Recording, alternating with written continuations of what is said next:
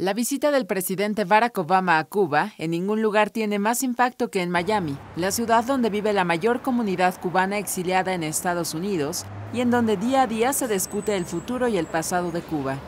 Esta histórica visita que realizará el presidente Obama, pautada para el 21 y 22 de marzo, ha reavivado las diferencias entre los grupos anticastristas de Miami, que se oponen a cualquier tipo de diálogo y ven en la visita una legitimación del régimen comunista de Raúl Castro, y aquellos que la ven positiva.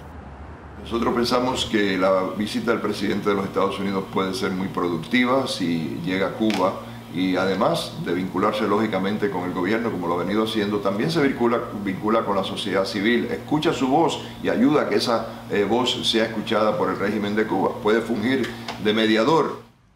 Entre los grupos que se oponen a la visita presidencial se encuentra el Directorio Democrático Cubano, que forma parte de la Asamblea de la Resistencia Cubana dentro de la isla. La Asamblea de la Resistencia Cubana, junto con el Foro de Derechos y Libertades en Cuba, piensa de que no existe un contexto apropiado para la visita presidencial de Barack Obama a la isla, porque la represión continúa, las cárceles siguen llenas de presos políticos, el régimen no ha devuelto ninguna libertad conculcada o ha respetado ningún derecho de los cubanos desde que comenzó el proceso de normalización de relaciones entre Cuba y Estados Unidos. Por tanto, la visita va solamente a meditar o va a legitimar un régimen que no cesa en su represión al pueblo cubano. Una de las voces más optimistas sobre el viaje de Obama a la isla es la de Max Lesnick, dirigente de la Alianza Martiana y director de Radio Miami. Abre un nuevo camino en el mejoramiento de las relaciones entre los dos países. Capítulo que estuvo marcado durante los últimos casi 60 años en confrontaciones y en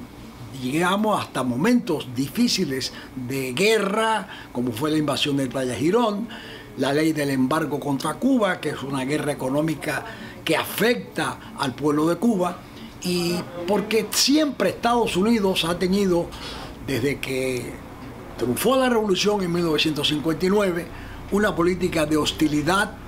con una actitud de presión a nivel internacional que Cuba, con su excelente eh, cuerpo diplomático, ha podido vencer con información e imágenes de Pablo Tonini, corresponsal en Miami, Notimex.